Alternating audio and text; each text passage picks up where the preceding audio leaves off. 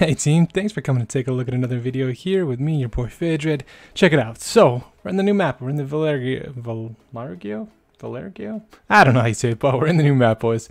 And uh, we're going to go ahead and show you guys the top five build locations, just like we've done for all the other maps and uh, we're just going to jump straight into it. So this is going to be mostly for PvP situations. That's what I'm thinking here. Unfortunately, you know, I'm not going to look at PvP or PvE. I'm not going to look at uh, some of the fancier, prettier spots to build. I'm going to look for the best build spots for you to build. Uh, maybe a little bit hidden, maybe depending on resources. We'll kind of run through each spot and we're going to do a top five. So I've kind of scoured the map Obviously, this is a, an early release. This is based off of the very first day in the first couple of hours, so there might be a couple of spots, and we'll probably do another updated video later down the road. But as of day one, this is what we found for you. Let's jump straight into it with uh, number five. Alright guys, so found my first base location recommendation for you guys. We're sitting at about 35, 37. This is pretty close to the center of the map here. You're just outside of, uh, you're, well not just outside, you're pretty much literally directly in between all three of the obelisks, so that's kind of a nice perk. I've seen a lot of yellow drops, red drops coming down in that general vicinity. Purple drop right there, two yellow drops right over there. You have a lot of drops coming down. Now, the reason I would recommend this spot, first off, is because it is a cliff-based location or a plateau, similar to the ones you actually see on Ragnarok. So it's going to be very difficult for anyone to actually get up here to you guys. There's not really a, there's not a path or anything like that. This is all just a plateau. It even has like lower level plateaus that will make it a little bit easier. You can put, you can kind of build out and scale down, I guess, when you're actually putting your turret towers up. You're looking for room for your breeders, those kind of things. As you can see, you also have a lot of metal. You have a lot of metal, a lot of obsidian, decent amount of stone, decent amount of uh, wood. You're not missing out on literally any single resource here. There's actually a, an oil node up here as well that you can put a an oil pump on. I believe it's right. Yep, here you go. You can put your oil pump right here, and you also have crystal right there. So there's also a massive amount of metal right there on that little mountain and a decent amount on that mountain right there. So you're looking at quite a bit of materials.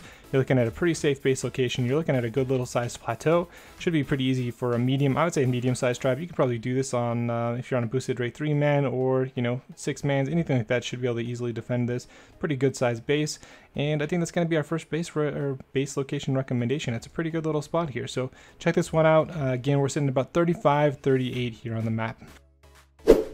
Alright guys, and another base location. Here we go. So here's the castle. We're not going to build in the castle. We're going to build underneath the castle. So at about 40, 40, 90, give or take, um, straight down here, uh, there's actually a little cave entrance. So not a big enough cave entrance to get water, uh, any, any sort of water raft or anything like that, so it actually is still defendable. Cave itself on the inside is pretty massive. You're not going to have a ton of resources in here. You have a little bit of metal, but uh, that's not going to matter as much. You're looking more for uh, an actual nice defendable base location. You do have a couple of uh, bigger metal nodes in here too, so it's not a bad spot really. Um, nothing deep. You're not going to be able to breed any sort of water dinos, nothing like that in here, but you do have a lot of space. Um, you do have two entrances here, so that can be a good or a bad thing depending on how big or how hidden you're trying to be. One of the entrances I just showed you. The second entrance is here at about 38, well, 39, 89 basically. It's just this little ruins here. Um, they are kind of big, so you're not going to be able to walk like a rock golem through there. You will be able to fit probably a gas bag or some trikes or something like that through there. So it's a little bit harder to defend on this one. If you have the turrets, if you have the people to be able to farm it out, I would still say it's pretty good, especially because you can put the turrets up on these little cliffs, for example, on this one, which makes it harder for them to actually rocket run them. They will have to probably drain those. Up here, on the other hand, it's going to be a little bit more difficult because you don't have a lot of space. Um, I would recommend like a cliff platform or something like that, probably off onto the side, just help defend it a little bit. But um, yeah, not about the base location really. I mean, we've got uh, a couple of good ones in here, and uh, we'll jump to the next one right now. Alright, and on to base location number three. So, we're sitting at about uh, 9180. We're in the little White Rocks area. I'm not sure what it's called yet, but uh, we're sitting in the White Rocks area. We've got this big pillar that sits right here. So the really nice thing about it is you actually have a good amount of space up here. To be honest with you, you could probably put, I don't know, I'm going to estimate we have what, five down right now. I'm going to guess someplace between a 10 by 15, maybe a 15 by 15 up on top of that rock. Then you have a little bit of space down here. Never, never pillar. Please don't pillar base because it's so bad. But uh, anyway, so this obviously is a really, really good spot in terms of people having to be able to raid you. It's going to be very difficult. There's not really any other location or space around you that they're really going to be able to snipe you really easily at all. And uh, that should make this pretty good. You have plenty of expansion room. Obviously, you're probably not going to want to expand down there, to be honest with you, but you have plenty of expansion room up on top here. You should have more than enough room to store dinos with cryopods, whatever you need to do. And then the big thing is, I will say one con that I will say right off the bat is I don't see a whole lot of wood. This wood area is not going to be the greatest, but the metal, boys and girls, is huge. So if you come down here, look at this. So you can kind of already see it. Look at all of these metal nodes down in this little crevice here. This is going to be a monster metal farm zone and there is just so much. This is like, so there's not very much of like a cluster of things. If you go to the swamp, you're gonna get a lot of wood, obviously. There's a couple areas for a decent amount of stone. This is the most metal I've seen on the map by far. There's a couple other good spots in this white uh, rock area that has a good amount of metal, but that metal spawn, or that metal farm down there, is massive, dudes. And it's literally right here. It's just down the, the cliff here from the space location. This is gonna be, pro this might even be my number one recommendation for the thing. For now, it's gonna be uh, spot number three because I'm probably going to look at some caves and things like that here in a minute. But this is a really, really good base location. You also have those new dinos. I don't know how good they're going to be yet, but you do have a couple of those new dinos. There's actually a nest or two actually in the little meadow spawn there. But this is a great base location. Highly recommended. So far, this is my favorite base location um, that I've seen so far. And uh, let's take a look at the next one. Alright guys, here's base location number two, I guess technically, four. I don't know, however you want to look at it. This is going to be the fourth, this is going to be the fourth position um, that I'm going to recommend. So check this out. We're at about 89, eh, pretty close to, there you go, 49.20, give or take. Um, let me fly up a little bit just so you guys can see. Um, we're right here on the edge of the tundra area, um, pretty close to the water.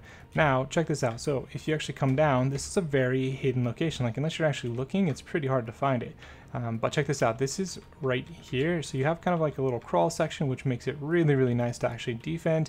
And then this is it. This is the entirety of the cave. So it's decent sized. It gives you enough room to breed and things. It's a little, uh, little dramatic in here. It's got a lot of oil seeping down. And clearly you have a ton of oil actually in the cave. You actually have an oil node as well, where you can put an oil pump right there. So it kind of makes it really, really nice. Um, as far as like defending, it's going to be super easy to defend. I mean, the cave entrance is tiny. They're not going to get anything in here. If you guys have some um, turrets up right in just this this general area, if you make it sure that they can't get a rock golem through here or you know something where they can actually throw it in, you should be completely fine. Once you have tech turrets, this area is going to be super easy to defend. So this is uh, another one of those really really good base locations. Um, I would say this is probably one of the better ones if you're looking just for a really really good defendable spot. So check this out um, and let's get on to the next one. So this is probably the best base location that I've seen so far. Um, it's pretty actually insane the amount of water that's down here and uh, I think that you'll probably be able to defend it pretty well. The issue is that there is a water entrance so you're gonna have to be careful on how you defend it but if you can get it defended this thing is insane. So first entrance right here is going to be about 64.73 um, if you come down, you can see the entrance right here. So it's just um, right here next to the white rock area and uh, between the white rocks and the green obby. The entrance is right here. It gets a little laggy, obviously. But once you come down here, I'm just going to kind of speed through it. The area is huge. There might even be a third entrance, to be honest with you, because once you actually come in here, I haven't been around the entire thing yet. I'm in speed mode right now. Let's see if I can go to speed mode 10.